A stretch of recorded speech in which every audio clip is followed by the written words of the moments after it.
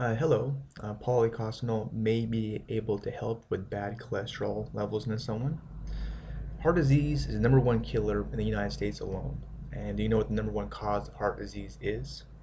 Well, it's cholesterol. Technically, LDL cholesterol, which is the bad stuff. HDL is the good stuff. Now, one popular method of, of dealing with this kind of stuff is by taking prescription drugs or pharmaceuticals, and they can work. Of course, there's a price to pay, and that is um, free radicals get created when these drugs break down. Also, there's some nasty side effects like liver damage and potentially cancer, to give you some ideas. It's due to this that many people are fairly excited about policosanol and what it can do. Uh, more good news um, is that policosanol can perform just as good, if not better, than some leading pharmaceuticals. Plus, the side effects are very, very mild.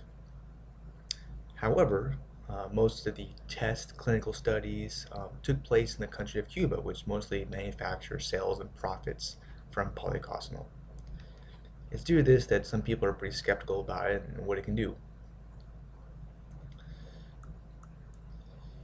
Of course, the risks involved are pretty small. Um, so in a nutshell, it's not 100% certain that policosanol can do what some people claim it can.